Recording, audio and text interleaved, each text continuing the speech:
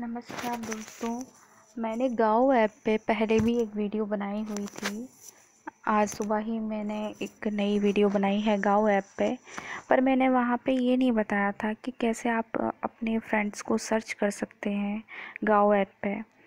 तो मैंने जब इस ऐप पे आईडी बनाई तो मुझे भी इस पे पता नहीं था कि कैसे सर्च करते हैं, अपने फ्रेंड्स को कैसे सर्च कर सकते हैं यहाँ पे।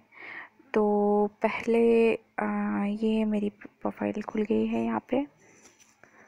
पहले आपको कम्युनिटी में जाना है। कम्युनिटी में जाके आपको यहाँ पर आप देख सकते हैं फ्रेंड प्लस करके एक ऑप्शन आ रहा है फाइंड फ्रेंड्स का। तो वहाँ पे आपको क्लिक करना है। मैंने वहाँ पे क्लिक किया वो टू फॉलो। अगर आप फेसबुक के फ्रेंड्स को फाइंड करना चाहते हैं तो फेसबुक पे आप क्लिक कर सकते हैं। लेकिन मुझे यहाँ पे स्टेज नेम से उसको सर्च करना है तो मैं यहाँ पे सर्च बॉक्स में जाके अपनी ही एक आईडी का नेम सर्च करूँगी। पूजा।